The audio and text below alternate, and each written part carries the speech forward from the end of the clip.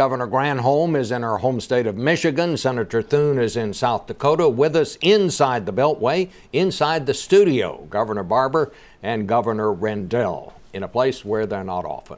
Here, uh, welcome to both of you. I want to start this morning uh, with something the president said on Friday when he visited a uh, conference of House Republicans and told them that all the tough talk and the partisan rhetoric uh, is making it harder for the two sides to work together. Listen to what he said.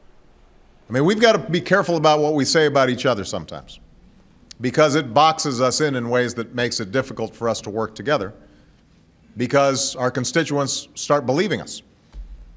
They don't know sometimes this is just politics, what you guys, you know, uh, or folks on my side do sometimes. Um, so just a, a tone of civility instead of slash and burn would be helpful. Well, Governor Barbour, what do you say to that? Well, of course, that's right. Uh, we should be civil. Ed and I disagree a lot, but always civilly and try to do it productively. But it's often the president who is the person that says the people on the other side are bad. Anybody who's not for what I'm for, they've got bad motives, they're representing bad people. The truth is, this is about policy.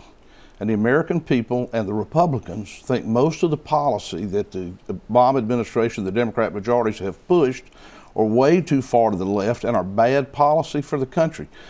But should we disagree agreeably? Yes, sir. But that doesn't mean we ought to take bad policy that's bad for the future. Well, Governor Rendell, how would you respond? well, I, I, think Haley's right about the tone, but it, it's more than just the tone. It is uh, uh, about policy. And if you look at uh, President Bush when he took over in 2001, his major domestic initiatives, Bob, No Child Left Behind, tax cuts, uh, the uh, senior pharm- pharmacy program got significant Democratic support. I mean, a ton of Democratic votes. We've seen stonewalling by the Republicans. President, in his State of the Union and on Friday, carved out on jobs, on energy, and on uh, holding down federal spending, carved out basic Republican principles. The ball's in their court now on policy. Let's see what they do.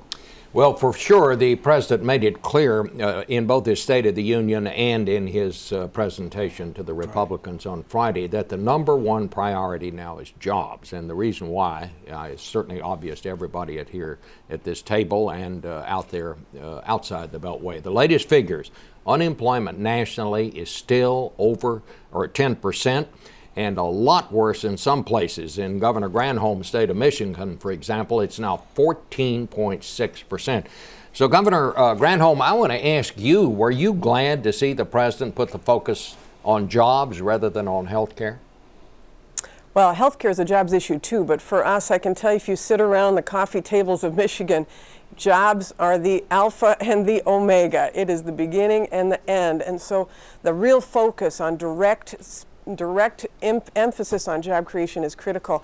And let me just say quickly, um, you know, this issue of policy and all of that, if you ask people whether they're in Pennsylvania or Mississippi or South Dakota, what their priority is, if you have to ask them, is it jobs or the deficit? I think they'd say both are important. The deficit's important, but jobs are urgent. And that's the way we feel in Michigan. The number one thing must be job creation. Of course, the deficit has to be handled, but if you have to triage, put your first effort in creating jobs. Do you agree with that, Senator Thune? I do, Bob. I think that the problem that we've run into, and I, I credit the president for uh, going up and visiting with the House Republicans and the House Republicans for inviting him. I think that both uh, benefited from that exchange. The question is, will there be meaningful cooperation on an agenda going forward?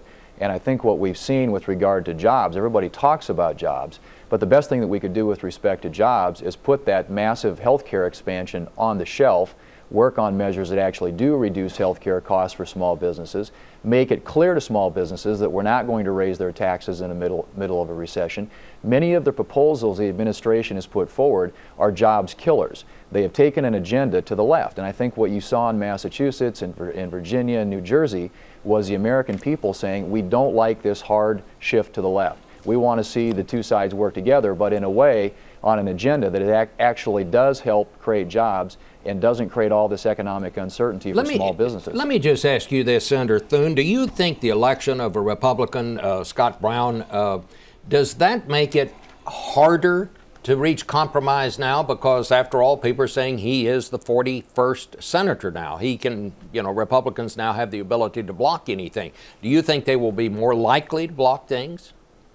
I think a lot of it has to do, Bob, with, with what things they put forward. If they come again to the middle and their agenda is one that uh, you can get uh, bipartisan support for, I don't care whether it's 40 or 41 what we were reacting to, a lot of Republicans in Congress, is to an agenda that we thought took the country way to the left. Hey, Bob, and, and in fact, in fact, small businesses will tell you that they want an agenda that is conducive to job creation, not one that creates the kind of economic uncertainty that kills jobs, and that's what we've seen from the administration. All right, uh, let me uh, get uh, Governor Rendell. He wants I'd to like respond. to ask Senator Thune a question, specifically on the jobs bill that uh, President Obama has proposed, which has uh, tax credits. Uh, uh, and uh, small capital gains exemptions for small businesses, money for infrastructure, uh, money for community banks to loan out to small businesses. Uh, are you ready to support those basic principles? I mean, those sound like Republican principles to me, John.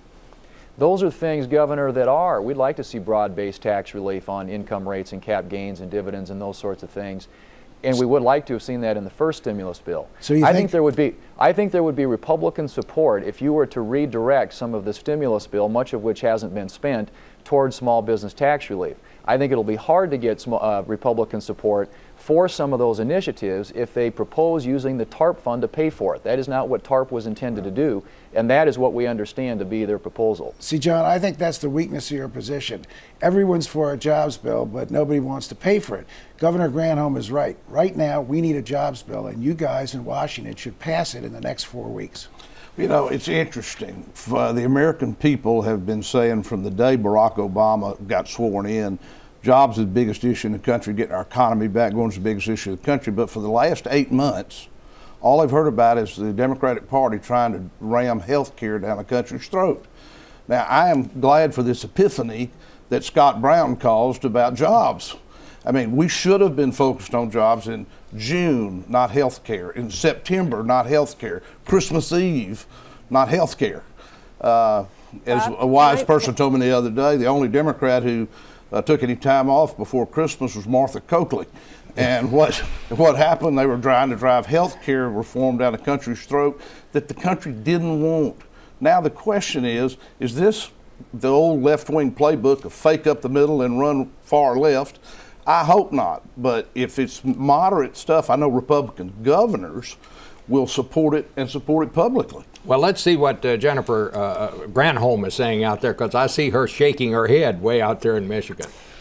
Well, the reason why I'm shaking my head is obviously the first thing the Obama administration did was to put a huge stimulus package which was focused on jobs on the table. A third of that was tax cuts. And in Michigan, I can just tell you just in the past two quarters, it's meant 42,000 jobs. I think you got to give this thing a chance to work, but we know that when he came into office, they were losing 700,000 jobs per month. As he said on Friday before the Republican caucus, he can't be blamed for what had happened before. His wasn't the TARP agenda, that wasn't his bill, but give it a chance to work. And now we see over 3 million jobs being created by the stimulus. And just quickly, one of the things that's unique to Michigan and maybe to some other states who have our problem with the loss of manufacturing jobs, what he has done is given us hope to transform and diversify. We're getting the ability now to have an auto industry that produces electric vehicles with batteries that will propel those. Well, those batteries, instead of being made in Asia, are going to be made in the United States by U.S. workers. For us, that's a huge opportunity, not just to put people back to work, but to transform our economy as well. Let me uh, uh, let me just shift slightly here and go back to something that all of you have mentioned, and that was this election of uh, Scott Brown. What do you think that means for Republicans, Senator Barbour? After all, this is not uh, a Mississippi style Republican that got elected. He's fairly liberal on some issues. Well, he's very, very much a moderate Republican. And I think it's a reminder to Republicans that, that we don't need purity. Uh, we need to elect the best people we can elect, and Scott Brown is, a, is the best senator for Massachusetts. But you're right, he's certainly not as conservative as I am, and that's healthy and good. What does it mean? I think, I hope what it means is since the Democrats can't get 60 votes on a partisan basis in the Senate, they will quit trying to ram stuff down the country's throat on a 60 vote partisan vote. I hope that's what it means. If it does, it really will not only have been a volcano in terms of politics, it will have been really good for public policy in America. What do you think, Governor Rendell? Well, we'll see. I think the president did a real good job, both in the State of the Union and on Friday, in saying to the Republican Party, okay, here are core Republican principles on jobs, on energy, on fiscal restraint. Now let's see if we're going to work together or we're going to make this year just an election year political fiasco. And Bob, what was most discouraging about Friday is after the invitation, after the president laid out these olive branches on nuclear power, offshore drilling, in 30 minutes, the Republicans put out a press release ripping the president, the House Republican caucus. That's not the way to get things done. Uh, let me ask all of you, and I'll start with you, Senator uh, Thune. Uh, this whole business of anger out in the country, uh, of uh, that we see the Tea Party business and all of that. Are those of us here in Washington, have we overestimated that? Uh, are we making more of it than it is? Uh, what, what do you make of it? And I'd like to hear from Senator, I mean, Governor Granholm as well. I think, Bob, that listening, if you're listening to the people in New Jersey, Virginia, and Massachusetts, that angst out there is real. And coming back to what Massachusetts was about, I think there are different interpretations of that. The administration says, well, we just need to retool our message. I think the message was, we want to change directions. Uh, this thing is moving too fast toward more government. It was a, a referendum on health care. It was about debt. And you know, Governor Rendell mentioned a jobs bill that's paid for out of TARP. TARP is what it is. It's just more borrowing authority. People in this country are uncomfortable with the borrowing, the spending, and the taxing and the growth of government in Washington, and that's being reflected in the Tea Party movement, and it's, it was reflected, I think, in those uh, elections in those three states. Do you have any uh, Tea Party people out in your state, uh, Governor Granholm? Oh, sure. I'm going to give my state of the state on Wednesday. They've already got a permit for their protest. But honestly, there, it, there's no doubt that the anger is real and it's white hot, and it's especially hot in places that have a hugely high unemployment rate. But it's hot because of the jobs issue. It's not so much hot because of deficits. Again, if you ask people to rank what's most important to their lives, it's having a job. Yes, the deficit's important, but having a job is much more important. Governor?